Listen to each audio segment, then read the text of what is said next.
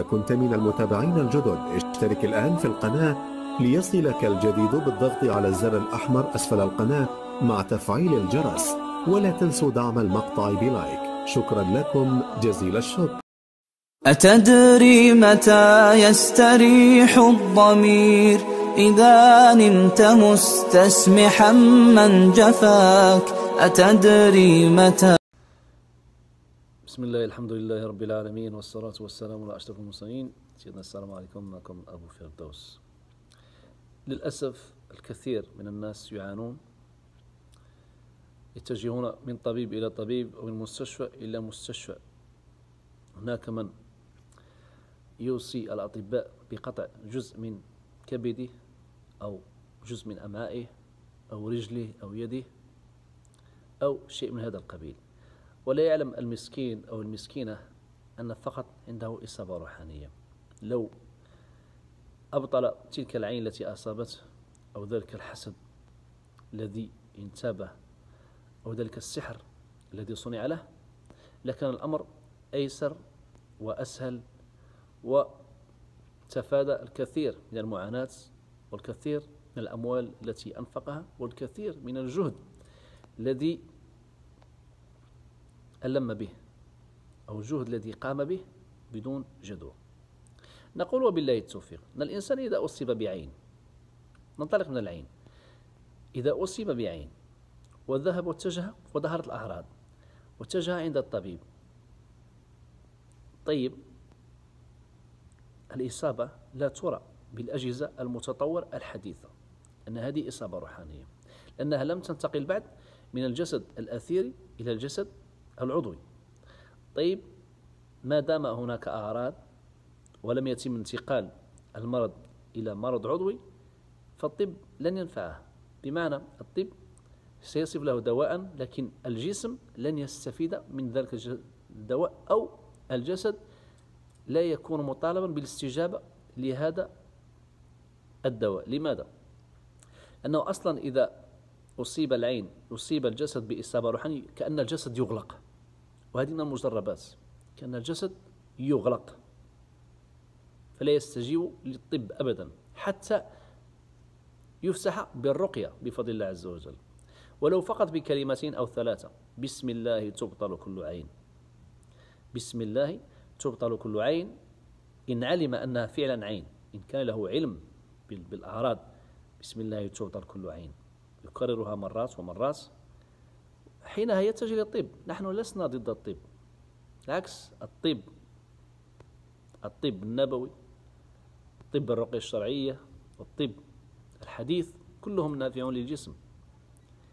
لكن الأصل أن يفتح الجسد أولا أن يرقي ولو نفسه أو يستمع لرقية من مواقع التواصل الاجتماعي. كل هذا ينفع. يبحث. سألني هذا الصباح كيف يعرف الإنسان أنه مسحور. قلت لهم خلال الأعراض. إذا وهذا الإنسان لا يكلف نفسه أن يبحث عن الأعراض. ما هي أعراض العين؟ ما هي أعراض السحر؟ ما هي أعراض الحسد؟ ما هي أعراض المس العاشق أو المنتقم؟ إنسان يريدها باردة. لا يكلف نفسه ولو جهدا بسيطا ليبحث في عن الأعراض وعن كذا وعن كذا. وهناك كثير من عنده أسئلة يسأل ويسأل ويسأل ولا يستفيد أصلا. أبذل مجهودا ولو قليلا وابحث. ابحث لتتعلم. طيب هذا الطبيب. نعم ذاك الطبيب ذاك اختصاصه. لكن لا بأس. أن تأخذ معلومة تنفعك وتنفع أهلك.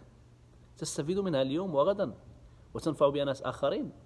لكن أن تبقى جاهلا بحكم أنه ليس اختصاصك فهذا خطأ. إنسان قد تجده ميكانيكي مثلا لكنه لكنه بارع في النجارة بارع في البناء بارع في أشياء أخرى. ينفع بها بيته يعمل ذلك في بيته. كذلك مثال ما دامت هذه الإصابة الروحانية؟ أه تحيط بنا من كل حدب وصوب وكل يوم تقريبا وأنت خارج أنت خارج من بيتك وتلبس لباسا عاديا تراه عاديا لكن الآخرين لا يرونها عاديا. يصيبونك بعين وأنت خارج من بيتك دون تحصين ودون صلاة الصبح ودون ودون أذكار الصباح والمساء. فما تتوقع طيب توقعها. العين ستصيبك بل عيون وإن كثرت العيون للجسد وإن كثرت أقول بالله توفيق وإن كثرت العيون على الجسد فتصبح الإصابات أو الإصابة متراكمة عين متراكمة وهذه تحتاج وقت. الإنسان لابد أن يخفف على نفسه ولو بالقليل. عندما تذهب للمعالج أو الراقي الذي عنده علم أقول الذي عنده علم ويفهم في علم التشخيص ليس الذي يقرأ عليك فقط. يقرأ فقط من أجل القراءة وهذا خطأ. اقرأ أنت على نفسك من أجل القراءة. أو اقرأ على نفسك بنية إبطال ما أصابك من عين أو حسد أو سحر. اقرأ واسأل الله عز وجل أن يجعل قراءتك تلك سببا لتفجير العقد سببا لإبطال وإخراج العين سببا لإبطال وإخراج السحر سببا لإبطال وإخراج الحسد سببا لإضعاف الشياطين في الجسد سببا لتدمير الحصون. سببا لتقوية كل جن مسلم في الجسد. إن كان هناك جن مسلم في الجسد لأن غالبا الجن المسلمين في الجسد يكونون ضعفاء ويكونون مربوطين مسلسلين. إذا أنت تعلم كيف تفك ربطهم وكيف تفك أغلالهم وقيودهم وكيف تفك الأقفال. على الأقل تقول بسم الله تحل الأقفال والسلاسل التي صنعت لي إن كان هناك سحر. إذا بهذه الأشياء تنفع نفسك وتنفع الأمة وهذا يكون في خير. إذا وما دام الشر في تزايد وما دام السحرة يتكاثرون يوما بعد يوم والساحرات المشعوذات الدجالات لعنة الله عليهم إلى يوم الدين يزيدون ويتكاثرون فلا بد من العلاج فلا بد من أن يتكاثر المعالجون يتكاثروا بكثرة ولا بد أن يكون في كل بيت معالج. هذا هو الأصل. لا نحتاج إلى إلى إلى معالج في كل وقت وفي كل حين ونبحث عنه هنا وهناك. تعلموا أنتم كيف تعالجون أنفسكم وأهليكم أولا. وتعلموا كيف تحصنوا بيوتكم. فهذا هو الأساس يا ناس. قال النبي صلى الله عليه وسلم اصبروا فإنه لا يأتي زمان إلا الذي بعده شر منه. الشر قادم لا محالة. ونحن نعيش في هذا البلد وفي هذا العالم. أصبح الشر متفشي. أصبح شيء عادي. لماذا؟ لأن القلوب ماتت. حتى أننا أصبحنا نرى المنكر شيء عادي. لماذا؟ لأن القلوب عندما تموت ترى المنكر شيء عادي. عندما ترى أختك مثلا تخرج بش بدون بدون حجاب متبرجة اليوم وغدا اليوم وغدا اليوم وغدا لماذا؟ لأن جاراتها وصديقاتها وبنات خالتك وبنات عمك كل كلهن بهذا الشكل يلبسن حجاب. يرى الأمر أنه شيء عادي لكنه في الأصل ليس كذلك.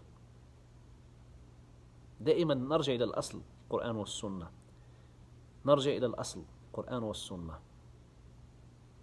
لهذا نقول بالله التوفيق يا ناس يا ناس. الكثير من المسلمين الكثير من المسلمين كلهم مصابون تقريبا. 95% تقريبا إصابات لكن هناك من لا يعلم. الغالبية لا تعلم. الغالبية تجوب الطرقات لتبحث عن الدواء ولا تجد دواء. أو تتناول الكثير من الدواء بدون السبب بدون نتائج. إذا نقول ليس كل من يسرع أو ليس كل من هو مريض مرض الروحاني يسرع. هناك من لا يسرع أصلا. تقرأ عليه حس تقرأ عليه وتقرأ عليه وتقرأ لكن لا يسرع أصلا. طبيعته الجسدية لا تسرع. من لا تترك الجسد يتحكم الجن يتحكم في جسده. وهناك من يسرع بكلمة واحدة. بسم الله الرحمن الرحيم. يسرع. طبيعة الجسدية طبيعته الجسدية تلك مفتوحة أصلا. فنسأل الله عز وجل أن يحفظ هذه الأمة. ونسأل الله عز وجل أن يرفع البلاء. ونسأل الله عز وجل أن يكفينا وإياكم شر السحرة والمشاودين والدجالين والشر الشياطين الإنس والجن. هذا أخوكم أبو فردوس من أمريكا. وصلى اللهم وسلم وبارك على محمد وآله وصحبه. وآخر دعوانا أن الحمد لله رب العالمين.